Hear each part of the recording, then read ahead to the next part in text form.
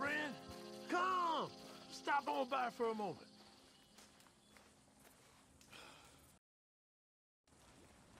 The name's William. Arthur. You familiar with the study of plants, my friend? Familiar ain't quite the word I'd use. Well, let me tell you. This great earth beneath our feet can provide everything man ever needs. But we've only reached a tiny bit of its potential. You see, there are thousands, maybe millions of plants all across this vast country we share. The mountains, the plains, the swamps. I mean to explore them all, to know all of nature's bounty and all of her wonder, if I can. Sure. But I'm only one man.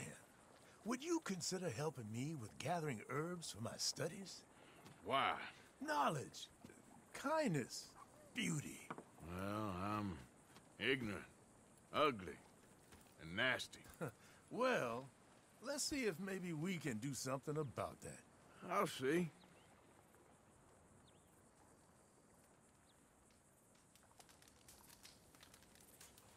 I'm looking for a plant called yarrow. You can distinguish it by its red flowers. It shouldn't be too hard to find. They thrive out in the open under direct sunlight.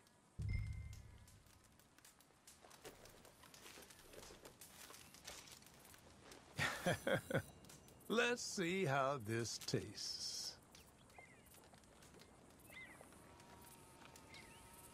Oh, yeah.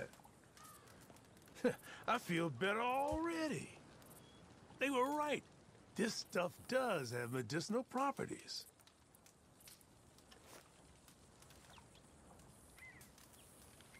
All this help, you deserve something in return. Well, this is for your horse, actually.